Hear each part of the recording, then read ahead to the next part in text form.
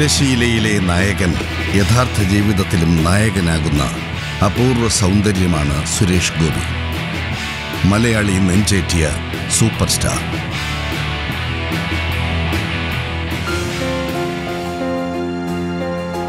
അശരണന് തുണയാകുവാൻ അബലന് ബലമാകുവാൻ ഈ നായകൻ മുന്നിൽ നിൽക്കുന്നു.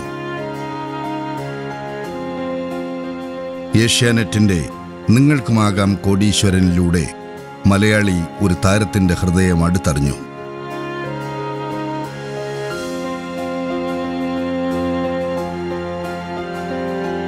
കണ്ണീരുണങ്ങാത്ത എൻഡോ സൽഫാൻ ദുരിതബാധിതർക്കിടയിൽ ദൈവത്തെ പോലെയാണ് എനിക്ക് സാറ് ഇപ്പോഴും. നമ്മൾ ഒരു ദിവസം പോലും സാറിന് ഓർക്കാത്ത ദിവസങ്ങളോ കാര്യങ്ങളോ ഇല്ല. എന്റെ മോളും എല്ലാവരും. തളർന്ന ശിരസുകൾക്ക് ചായാൻ തോൾ നീട്ടാൻ തകർന്ന ജീവിതങ്ങൾ നെഞ്ചിൽ ചേർക്കാൻ സുരേഷ് ഗോപി എന്ന നായകൻ നിഴൽപ്പാടുകളിലേക്ക് മുന്നിട്ടിറങ്ങി. മലയാളി തങ്ങളോടൊപ്പം കരയുന്ന ഒരു നായകനെ ആദ്യം അടുത്തറിയുകയായിരുന്നു. ഇത്രയും നല്ല കാര്യങ്ങൾ ചെയ്തു തന്ന സുരേഷ് ഗോപി സാറിന്റെ ആയുസ്സിനും ആരോഗ്യത്തിനും വേണ്ടി ഞാൻ ആത്മാർത്ഥമായി പ്രാർത്ഥിക്കുന്നു. സുരേഷ് ഗോപി സാർക്ക് എന്റെ കുടുംബത്തിനും എന്റെയും നന്ദി രേഖപ്പെടുത്തുന്നു. ഇത്തരം കാര്യങ്ങൾ ഞങ്ങൾക്ക് ശരിയാക്കി തന്നതിന് സുരേഷ് ഗോപിക്ക് നന്ദി. സുരേഷ് ഗോപിക്ക് എന്ന് ഞങ്ങൾ പ്രാർത്ഥിക്കുന്നുണ്ട്. ഞങ്ങൾ ഒരിക്കലും മറക്കില്ല.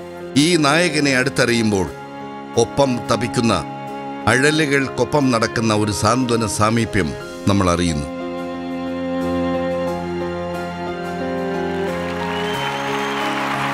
ഏഷ്യാനെറ്റ് ഇതിനു മുമ്പ് സിനിമ അവാർഡ്സ് നടത്തുമ്പോൾ എല്ലാ വർഷവും എനിക്ക് തോന്നുന്നു നയന്റി നയൻ മുതലാണ് ഫിലിം അവാർഡ്സ്. അതുകൊണ്ട് തന്നെ എനിക്ക് പതിഞ്ഞു പോയ ഒരു ദുഃഖം തൊണ്ണൂറ്റി എട്ടിൽ ഏഷ്യാനെറ്റ് ഫിലിം അവാർഡ്സ് ഉണ്ടായിരുന്നെങ്കിൽ ഉറപ്പായിട്ടും കളിയാട്ടത്തിന് ഏറ്റവും നല്ല നടനുള്ള അവാർഡ് തരുന്ന ചടങ്ങിൽ ആദ്യത്തെ വർഷം പങ്കെടുക്കുവാൻ സാധിക്കുമായിരുന്നു. അതൊരു തരം വിധിയാണ്. പക്ഷെ അതിനുശേഷം വിളിച്ചിട്ടുള്ള ഒരു ഫിലിം അവാർഡ് ചടങ്ങിലും ഞാൻ പോയിട്ടില്ല. ആകെ പങ്കെടുത്തിരിക്കുന്നത് രണ്ടോ മൂന്നോ ടെലിവിഷൻ അവാർഡ്സ്. ഇതിനിടയ്ക്ക് നിങ്ങൾക്കുമാകാം കോടീശ്വരൻ എന്ന് പറയുന്ന എന്റെ ജീവിതത്തിലെ ഏറ്റവും വലിയ അനുഗ്രഹമായി തീർന്ന എന്നെ എവിടെയോ കൊണ്ടെത്തിച്ച് നിങ്ങൾക്കുമാകാം കോടീശ്വരൻ സമ്മാനിച്ചുകൊണ്ട് എന്റെ ജീവിതത്തിൽ അതിഭയങ്കരമായി സംഭവിക്കുകയായിരുന്നു. ജീവിതത്തിലുടനീളം അത്രയും ദൂരം നേരിട്ട് കണ്ടിട്ടുള്ള ഒന്നും ചെയ്യാൻ കഴിയുന്നില്ലല്ലോ എന്ന് വിചാരിച്ച് വളരെ ചെറിയ രീതിയിൽ എന്തെങ്കിലുമൊക്കെ അത് പിച്ചിപ്പറിച്ചെടുത്ത് ചെയ്യുവാൻ അല്ലെങ്കിൽ നൽകുവാൻ കഴിഞ്ഞ വഴിയിൽ നിന്ന് നിങ്ങൾക്കുമാകാം കോടീശ്വരൻ എത്തുമ്പോഴാണ് സത്യത്തിൽ പണം ഒരു ഘനത്തിൽ എന്റെ കയ്യിലേക്ക് വരുന്നത്. അപ്പോൾ പിന്നെ നൽകുന്നതിന്റെ ഘനം എന്ന് പറയുന്നത് എന്റെ ബാധ്യതയായി തീർന്നു. ആ നിലയ്ക്ക് ഞാൻ കരുതുന്നു ഇന്ന് എനിക്ക് രാജ്യം തന്നിട്ടുള്ള ഈ പദവി എന്ന് പറയുന്നത് ഒരു ദൈവനിശ്ചയം മാത്രമായിരുന്നു. അതിന് ചില വ്യക്തികൾ ആയുധങ്ങളായി തീർന്നു എന്ന് മാത്രമേ ഞാൻ കരുതുന്നുള്ളൂ.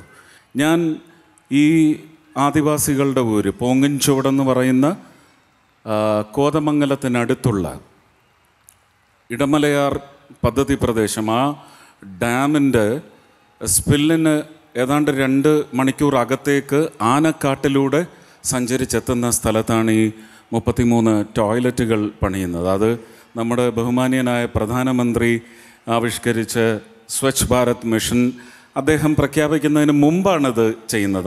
പ്രധാനപ്പെട്ട കമൻസ് വന്നത് ഞാൻ ഇപ്പോഴും ഓർക്കുന്നു. ആദ്യം അവർക്ക് കഴിക്കാനുള്ളത് കൊടുക്കടോ എന്നിട്ട് കക്കൂസ് പണിഞ്ഞ് കൊടുക്ക് എന്ന് പറഞ്ഞ ഒരു സമൂഹത്തിനോട് ഞാൻ എന്ത് മറുപടിയാണ് പറയേണ്ടത്? ഞാൻ ഈ അവസരം ഇങ്ങനെയുള്ള കമന്റുകൾ വളരെ വേദനിപ്പിക്കുന്നതാണ്. ഒരു ലാഭയിച്ചയുമില്ലാതെ ഒന്നും മോഹിക്കാതെ ചെയ്തിട്ടുള്ള കാര്യങ്ങളാണ്.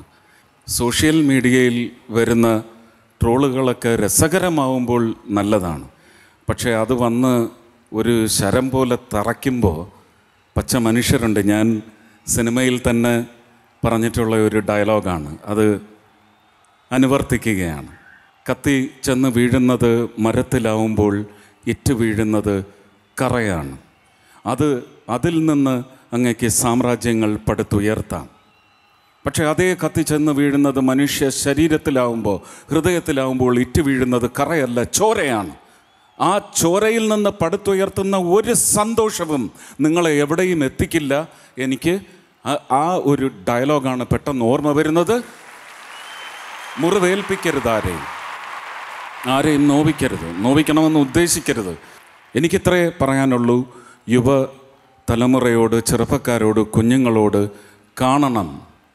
കാണുന്ന കാഴ്ചകൾ സന്തോഷിപ്പിക്കുന്നത് പോലെ തന്നെ ആ കാഴ്ചയിൽ വേദനയുണ്ടെങ്കിൽ ആ വേദനയ്ക്ക് ചോരയുടെയോ കണ്ണീരിന്റെയോ നനവുണ്ടെങ്കിൽ അത് നമുക്ക് ആവാഹിച്ച് നമ്മുടെ വേദനയാക്കി മാറ്റാൻ സാധിക്കണമെന്ന് മാത്രമാണ് എനിക്ക് കുഞ്ഞുങ്ങളോട് പറയാനുള്ളത്. ഏഷ്യാനെറ്റ് നൽകിയ ഈ ആദരവിനും ഈ തെരിയപ്പെടുത്തലിനും സന്തോഷത്തിനുമെല്ലാം നന്ദി അറിയിക്കുന്നു. ശ്രീ മാധവനോടും ഏഷ്യാനെറ്റിന്റെ മുഴുവൻ ക്രൂവിനോടും നന്ദി. നമസ്കാരം.